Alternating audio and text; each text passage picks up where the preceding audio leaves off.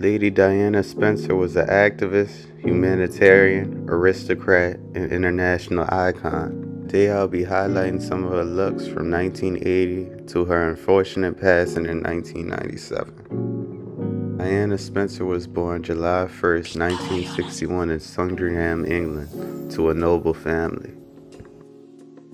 Before her reign as a royal from 1980 to 1981, Diana was a part of the Sloane Ranger subculture in London, wearing brands like Ralph Lauren and Laura Ashley.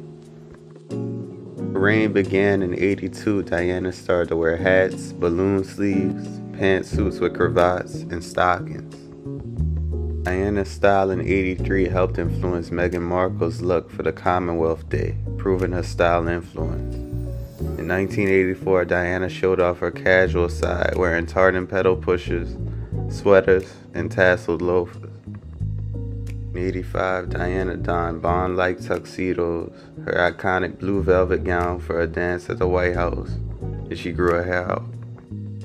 During her visit to the Cannes Film Festival in 87, Diana wore this Princess Grace Kelly of Monaco inspired dress designed by Catherine Walker as homage to Kelly's 1955 movie To Catch a Thief.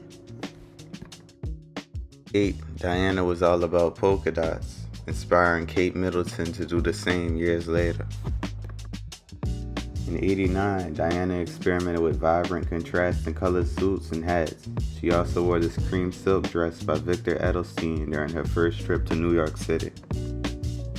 From 1990 through 93, Diana would wear designs from her in-house designer Catherine Walker in monochromatic gowns and suits. Di's most famous outfit in 94 was her revenge dress, designed by Christiana Stambolian, worn after King Charles admitted to having an affair. 96, Diana would start wearing Versace, and she wore this navy silk slip dress designed by John Galliano to the Met Gala. 97, Lady Di would continue to wear Versace, and she wore this oversized Harvard sweater with biker shorts prompting Hailey Bieber to do the same. Rest in power, Princess Diana. The world lost a remarkable human being and a noble woman.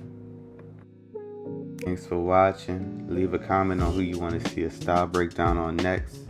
And keep on watching my videos. Thanks.